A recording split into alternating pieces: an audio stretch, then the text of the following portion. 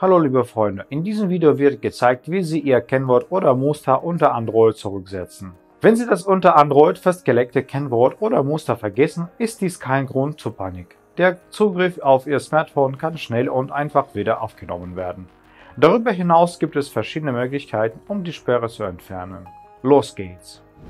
Liebe Freunde, wenn Sie gelöschte Daten wiederherstellen wollen, verwenden Sie die Programme der Firma Hetman Software. Folgen Sie dem Link aus der Beschreibung, laden Sie das Programm kostenlos herunter und installieren Sie es. Führen Sie dann die Festplattenanalyse durch. Nach der Analyse zeigt das Dienstprogramm die für die Wiederherstellung verfügbaren Dateien an und Sie können sie rückgängig machen. Unser Blog bietet kurze Tutorials zur Lösung von Problemen, die Windows-Benutzer haben. Auf unserem Kanal und im Blog finden Sie eine Lösung für jedes Problem. Beginnend mit der Installation des Systems bis zur Remote-Verwaltung und Verbinden mobiler Geräte. Unsere Experten beantworten gerne Ihre Fragen in den Kommentaren zu Videos und Artikeln.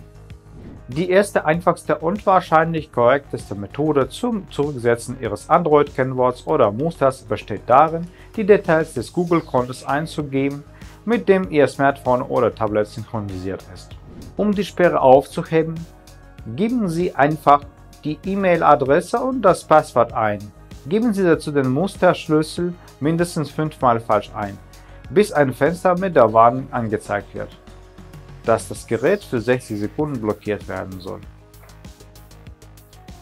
Auf dem Bildschirm wird die Schaltfläche Grafikschlüssel vergessen angezeigt, mit der Sie auswählen können, welche Daten Sie eingeben und das Gerät entsperren möchten. Bitte beachten Sie, dass für diese Methode ein obligatorischer Zugang zum Internet, Mobil oder WLAN erforderlich ist. Wenn Sie das Passwort für das gewünschte Konto vergessen haben, können Sie es mit Hilfe einer der im Video ausführlich beschriebene Methode über den Link in der Beschreibung herausfinden oder knacken. Die zweite Methode eignet sich für fortgeschrittene Benutzer, da das Gerät an einen PC angeschlossen und die Befehlszeile und das ADB-Tool verwendet werden. ADB ist Teil des Android SDK. Um ADB auf Ihrem Computer zu installieren, müssen Sie das SDK von der offiziellen Webseite herunterladen. Wir machen dafür folgende Schritte. Wir gehen zur Webseite developerandroid.com. Ich hinterlasse einen Link zu dieser Seite in der Beschreibung. Laden Sie Android Studio herunter, indem Sie auf die entsprechende Schaltfläche klicken.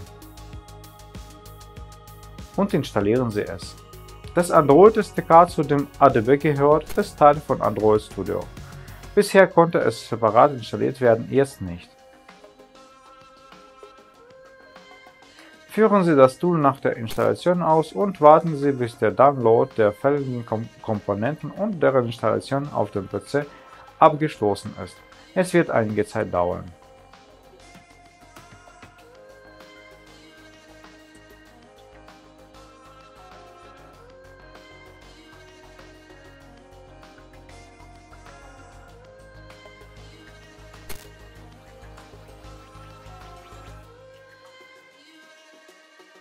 Wechseln Sie nun in den Ordner auf der Festplatte C Users Username App Data. Der Ordner ist standardmäßig ausgeblendet. Local Android SDK Platform Tools.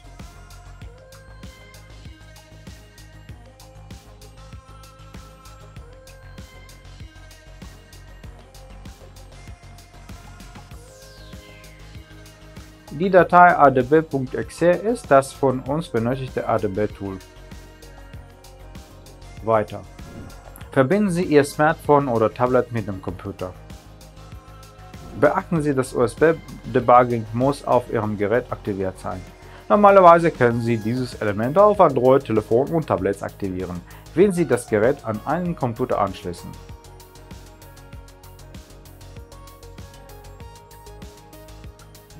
Führen Sie die Befehlszeile als Administrator aus, wechseln Sie dazu einen Ordner mit der Datei adb.exe Benutzer Windows EPP Data Local Android SDK Plattform Tools.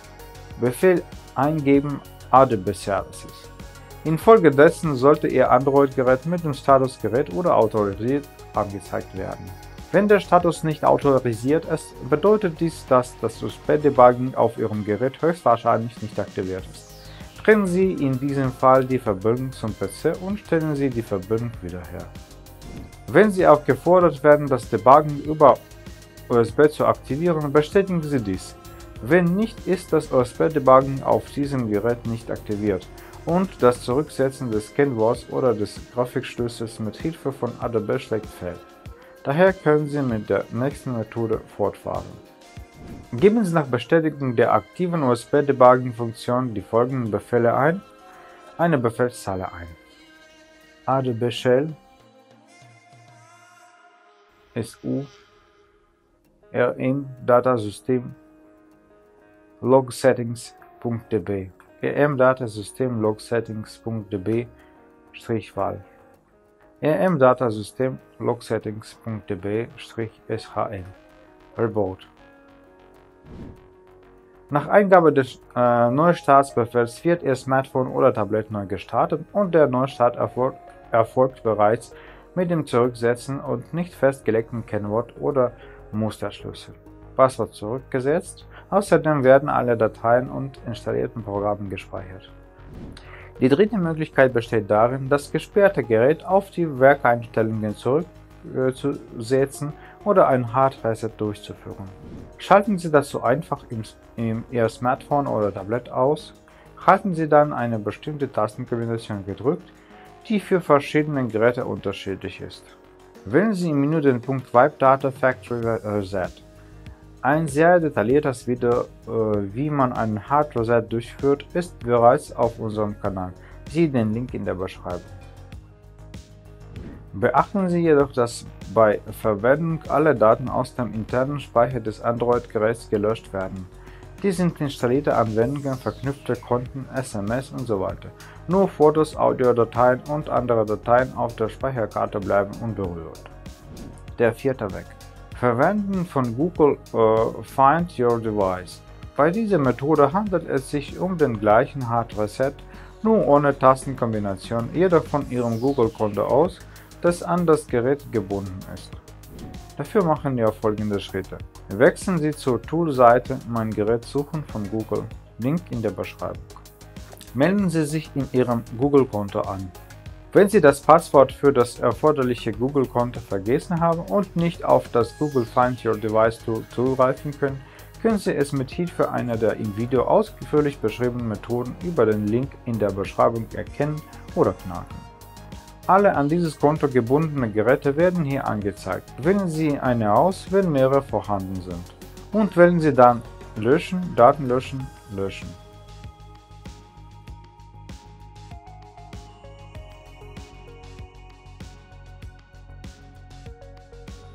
Wenn Sie das Gerät zum ersten Mal mit internen Verbindung, falls keine Verbindung besteht, wird es auf den Werkzustand zurückgesetzt. Das Passwort oder der Schlüssel wird ebenfalls zurückgesetzt und der Zugriff wiederhergestellt. Denken Sie daran, dass alle Daten von ihm auch gelöscht werden. Wenn Sie äh, ein Samsung-Gerät verwenden, ist die fünfte Methode äh, die richtig für Sie. Besitzer von Smartphones einer beliebten Marke können das Gerät entsperren, wenn das Internet aktiviert ist und ein Samsung-Konto hinzugefügt wurde. Samsung hat eine eigenen Dienst namens Find Phone. Ich hinterlasse einen Link dazu in der Beschreibung. Um es zu verwenden, muss Ihr Gerät mit einem Samsung-Konto verbunden sein. Auch die Fernbedienungsfunktion ist aktiv. So setzen Sie Ihr Samsung-Gerät zurück. Gehen Sie auf die Samsung Service-Seite, Find the Phone und wählen Sie Login. Geben Sie den Benutzernamen und das Passwort ein, die bei der Registrierung angegeben wurden. Sie können übrigens auch wiederhergestellt werden, wenn Sie das Passwort für Ihr Google-Konto vergessen oder gehackt haben. Das rechte Feld zeigt den Status Ihres angeschlossenen Geräts an. Wählen Sie Entsperren, entsperren Sie erneut, geben Sie Ihr äh, Kontopasswort erneut ein.